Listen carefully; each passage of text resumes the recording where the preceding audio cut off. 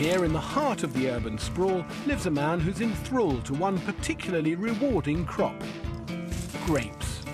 For 10 years, Marko Boitsun has had a thriving backyard vineyard in London's Stoke Newington. What a thing of great beauty, Marko. Yeah. What a lovely thing to have yeah. in your home, yeah. on your home, climbing up your home. If you like gardening, if you enjoy wine, it's a great hobby to have. A mature vine like Marko's can provide enough grapes for over a dozen bottles of wine. What discourages some people is the fact that it's three years before you'll have your first harvest. But patience pays off. And our homegrown wine industry is ripening nicely, with over 350 commercial vineyards in Britain. My children used to crush them uh, with their feet when they were small. You've got a big grown-up child here today with big feet. I had a good shower this morning. I've got clean socks on. And I promise you my athlete's foot cleared up at least a week ago. Great. so just straight in there. it's a lovely feeling. God, so much juice. I mean, I'm already literally up to my ankles in grape juice. It really works, doesn't it?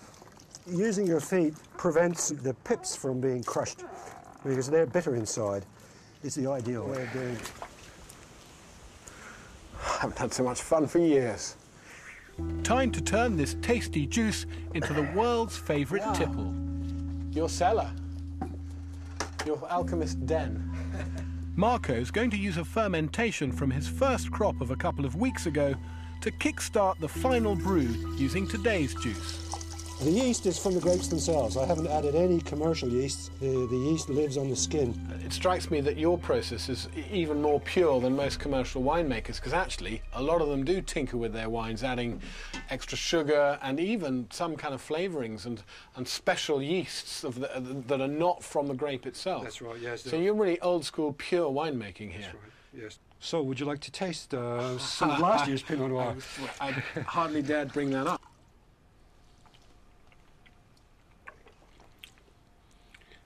I think that's re really rather good.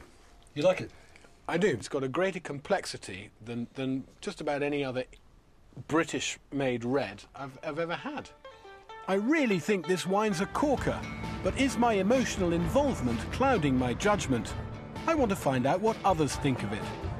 Where's it oh, made? In Stoke Newington, in my oh, back, in my garden. In your garden in Stoke Newington? Well, that's fantastic. Isn't that great? In about three months' time, when it's settled down, that's going to be a great wine.